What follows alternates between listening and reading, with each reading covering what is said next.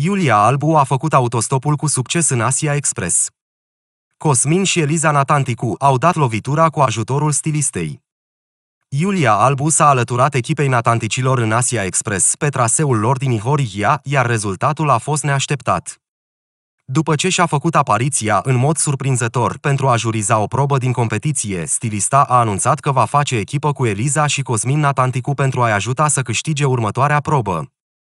Vedeta le-a purtat noroc la autostop. Natanticii au primit un ajutor neașteptat în Asia Express. Celebra stilistă Iulia Albu li s-a alăturat pe traseu și a reușit să-i uimească de îndată ce a început să facă autostopul, cot la cot cu ei. Criticul vestimentar și-a făcut apariția în competiție pentru a juriza ținutele alese de concurenți pentru localnici, la una dintre probele din ediția din această seară. Totuși, șederea ei s-a prelungit, vedeta transformându-se într-un concurent temporar.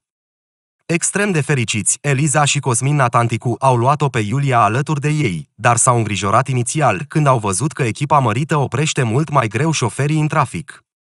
Situația s-a schimbat radical imediat după ce stilista s-a implicat activ și și-a dat seama cum trebuie să procedeze la autostop.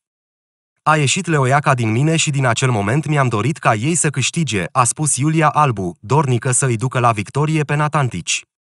Zis și făcut. Iulia a fost cea care a reușit să oprească prima mașină și l-a convins pe șofer să îi ajute. Foarte surprinsă, Eliza Natanticu a recunoscut că nu se aștepta ca stilista să fie atât de dornică să-i ajute. Tot Iulia a reușit să oprească un domn mai în vârstă, tot ea l-a convins, a spus, fericită, Eliza Natanticu. Criticul de modă le-a fost alături natanticilor la fiecare pas și a rezistat cu brio condițiilor vitrege din concurs. Nici înghesuiala din mașină nu a reprezentat o problemă pentru celebra stilistă.